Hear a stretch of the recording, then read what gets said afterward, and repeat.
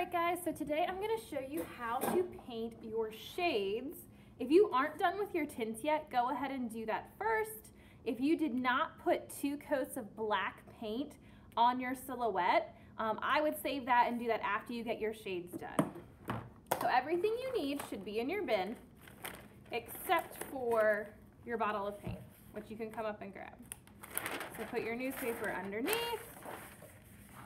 We of course will mix our paint on our wax paper. And then for shades, you obviously, instead of your color in white, you'll need your color in black.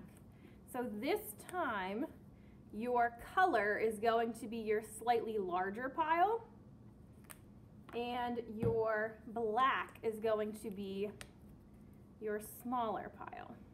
You won't need as much paint as you did for your tints because a lot of your shades are gonna end up going off the page. And then just like last time, a mixing brush and a painting brush. So if you remember, you always put the darker paint into the lighter paint whenever you are mixing. So I'm going to take a little bit of black and mix it into my color. And I can already tell a difference. I don't know if you can tell on the camera or not. A difference from that little tiny bit of black. My suggestion, start with a tiny bit of black paint. If you can't tell a difference, you can always add more. But once you make it too dark, it's really hard to go back. So I'm gonna take my painting brush, see if I can tell a difference. I can, and I'm going to paint the layer outside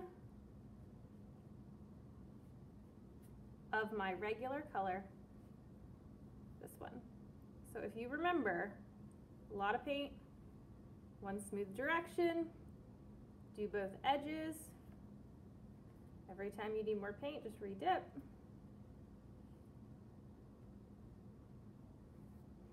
And then your middle goes really fast. Now make sure your shades are gonna start to go off the page. So make sure you come up, I'm gonna speed paint, all right? And you hit every single corner. So I have to do there, I'll fill in this entire area. I have to get this little guy there, this corner, and that's all, I'll be done with this corner after I do this first shape because there's only one there. And then I'll do it down here as well. Okay, you are gonna paint neater than I do. Then, just like kind of we did with the tint, you're gonna go back, add more black into your pile of paint, mix with the whole pile, take your painting brush, clean it off, grab your new shade, make a little mark, see if you can tell a difference. I don't think I quite can, so I'm gonna add a little bit more black.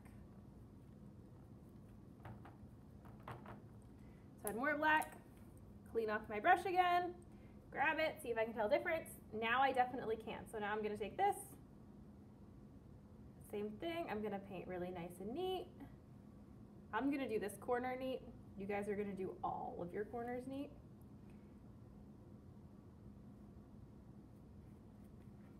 All right, then I'll take this color, it'll go here, it'll go down here. I don't have anywhere to add it to on that side. Then I'm gonna keep going. So more black, mix it in. You can see this light blue, it almost turns like a grayish color when you add the black in. All right, clean off my brush, grab some of it, see if I can tell a difference. I can.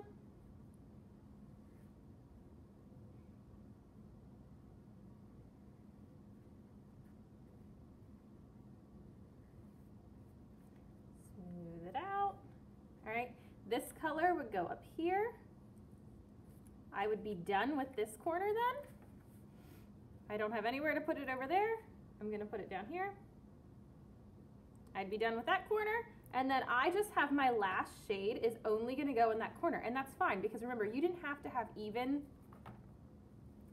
numbers on any side. So I'm gonna add more black to it.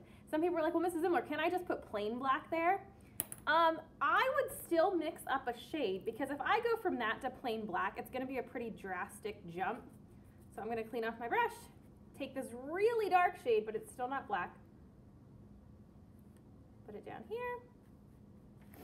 and then I am done with my shades. So you should be done with your tints, done with your shades. If you did not put two coats of black paint on this, you can go ahead and do that. You can just, if you have enough black paint here, you can just use that. If you need to squirt a new pile, you can. If you need to get new paint brushes to do this, you can. Um, and if you need to wait a little bit for this to dry before you do it, but you should be completely finished. Smooth paint lines, take your time, especially smooth on your silhouette.